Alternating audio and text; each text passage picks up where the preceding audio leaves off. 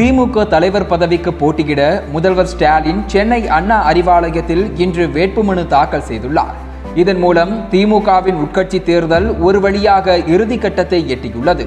திமுகவில் கடைசியாக கடந்த இரண்டாயிரத்து பதினான்காம் ஆண்டு பதினான்காவது உட்கட்சி தேர்தல் நடைபெற்றது. அதன் பிறகு மீண்டும் இரண்டாயிரத்து பத்தொன்பதாவது ஆண்டு தேர்தல் நடைபெற வேண்டியது. ஆனால் மக்களவை தேர்தல் கொரோனா ஊரடங்கு அதனைத் தொடர்ந்து தமிழக சட்டப்பேரவை தேர்தல் என அடுத்தடுத்து உட்கட்சி தேர்தல் தள்ளி போனது. கடந்த இரண்டாயிரத்து பதினெட்டாம் ஆண்டு கலைஞர் கருணாநிதி காலமானதை அடுத்து அப்போது செயல் தலைவராக இருந்த ஸ்டாலின் பொதுக்குழு மூலம் தலைவராக தேர்ந்தெடுக்கப்பட்டார். அதன் பிறகு கடந்த இரண்டாயிரத்து இருபதாம் ஆண்டு பிப்ரவரி மாதம் திமுக அமைப்பு செயலாளர் ஆர் எஸ் பாரதி உட்கட்சி தேர்தலை தொடங்கி வைத்தார். சட்டமன்ற தேர்தலில் மக்களை சந்தித்து வாக்குகளை வாரி குவித்து வெற்றி பெற்று முதலமைச்சர் ஆன ஸ்டாலின் சொந்த கட்சியில் பொதுக்குழு மூலம் மட்டுமே தலைவராக தேர்ந்தெடுக்கப்பட்டார். ஜனநாயக முறைப்படி கட்சியின் சட்ட திட்ட விதிகளின்படி கிளை செயலாளர்களில் தொடங்கி மாவட்ட செயலாளர்கள் வரை உட்கட்சி தேர்தல் மூலம் தேர்ந்தெடுக்கப்பட்டு அவர்கள் வழியாக தான் தலைவராக தேர்ந்தெடுக்கப்பட வேண்டும் என்பதே ஸ்டாலினின் எண்ணமாக இருந்தது. அவரது விருப்பம் தற்போது இந்த உட்கட்சி தேர்தல் மூலம் நிறைவேறியுள்ளது. வழக்கமாக ஆறு முதல் எட்டு மாதங்களில் முடிந்துவிடும் உட்கட்சி தேர்தல் இந்த முறை பஞ்சாயத்து பேச்சுவார்த்தை சண்டை சமாதானம் என இரண்டு ஆண்டுகளுக்கு மேல் நீடித்துள்ளது.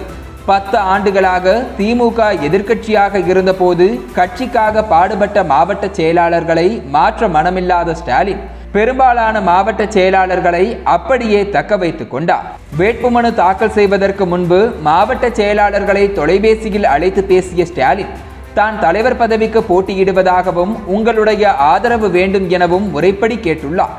இதனால் மனமுருகி போன மாவட்ட செயலாளர்கள் வழக்கத்துக்கு மாறாக அனைவரும் சேர்ந்து ஸ்டாலினை தலைவராக முன்மொழிய வேண்டும் என முடிவு செய்துள்ளனர். திமுக கட்சி விதிகளின்படி தலைவர் பதவிக்கு போட்டியிடுபவரை ஐந்து பொதுக்குழு உறுப்பினர்கள் முன்மொழிந்து ஐந்து பேர் வழிமொழிந்தால் போதுமானது.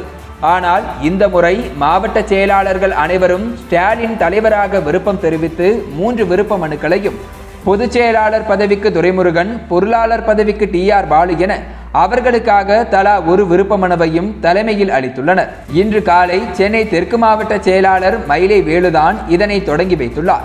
காலை பத்து மணி முதல் ஐந்து மணி வரை தலைவர் பொதுச் செயலாளர் பொருளாளர் தணிக்கை குழு உறுப்பினர்களுக்கான வேட்புமனு தாக்கல் செய்யலாம் என அறிவிக்கப்பட்டிருந்த நிலையில் கலைஞர் கருணாநிதி நினைவிடத்தில் மரியாதை செலுத்திய முதலமைச்சர் ஸ்டாலின் பனிரெண்டு மணிக்கு தனது வேட்புமனுவை அறிவாலயத்தில் அமைப்பு செயலாளர்கள் உள்ளிட்ட நிர்வாகிகளிடம் வழங்கினார். அப்போது அமைச்சர்கள் ஐ. பெரியசாமி ஏவா வேலு திமுக எம்பி கனிமொழி எம்எல்ஏ உதயநிதி ஸ்டாலின் ஆகியோர் உடனிருந்தனர். அரசு பணியால் வெளியூர்களில் சிக்கிக்கொண்ட ஒரு சில அமைச்சர்களை தவிர கிட்டத்தட்ட அனைத்து மாவட்ட செயலாளர்களும் அறிவாலயத்தில் குவிந்திருந்தனர். இதனால் திமுக தலைமையகத்தில் இரண்டு வாரங்களுக்கு முன்பே தீபாவளி வந்துவிட்டது போல கொண்டாட்டம் களை கட்டியது. அக்டோபர் ஒன்பதாம் தேதி அன்று அமைந்தகரையில் நடைபெறவுள்ள பொதுக்குழுவில் திமுக தலைவராக ஸ்டாலினும் பொதுச் செயலாளராக துரைமுருகனும் பொருளாளராக டி ஆர் பாலுவும் தேர்ந்தெடுக்கப்படுகின்றனர். திமுக வரலாற்றில் முதல் முறையாக தலைவர் பதவிக்கு வேட்புமனு தாக்கல் செய்து போட்டியின்றி பலமுறை தேர்ந்தெடுக்கப்பட்டவர் கலைஞர். இப்போது திமுகவின் இரண்டாவது தலைவராக மனு செய்து ஒரு மனதாக தேர்வாகிறார் முத்துவேல் கருணாநிதி ஸ்டாலின்.